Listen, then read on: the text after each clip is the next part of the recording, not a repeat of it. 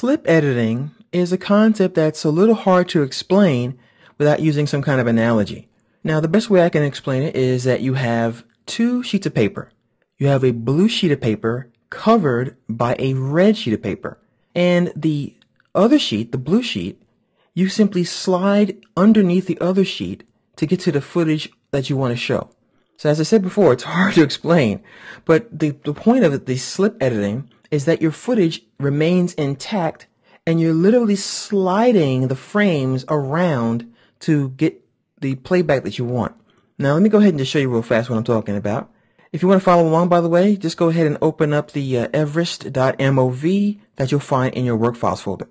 Now, as you can see here, I have my footage that starts on this frame.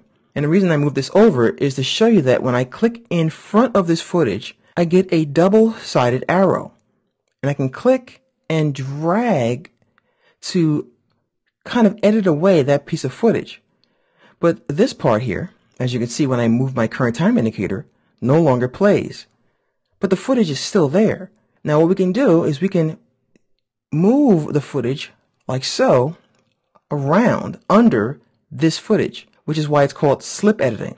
We're taking the playback and we're slipping it under here to show when we want the footage to play back. Now to really show you what this does here, I'm going to take this current time indicator and put it at the start of the footage like so. And then I'm going to grab this footage now and I can click anywhere in this little uh, lighter shade of this color. And when I click and drag, it plays back. So what I can in effect do is I can determine where I want this footage to start playing. This could be the beginning of this clip, but I really don't want to see this here. Instead, I want to see something underneath it. So I could say to myself, I'd rather this clip start here or here or wherever I want it to start from. So I'm literally slipping this footage around. And you'll notice that the footage is also behind here as well. So I can also choose, if I want to, where it ends the playback. So I, I might want her to, to look at the camera like this on this particular frame, and this is where it will end. But this part won't play. So I'm not cutting the footage in any way.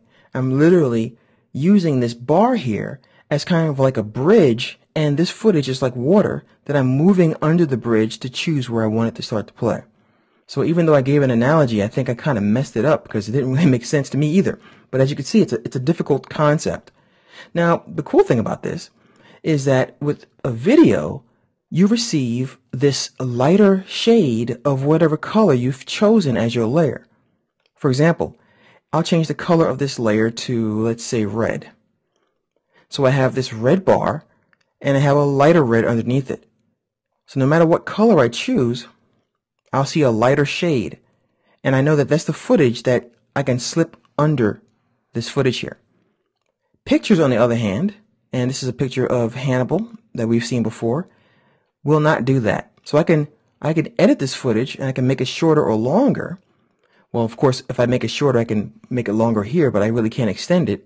I can do the same thing, but I don't receive that lighter shade because I can, I can only move an image as far as where it starts to playback. I can't slide anything because it's a still image.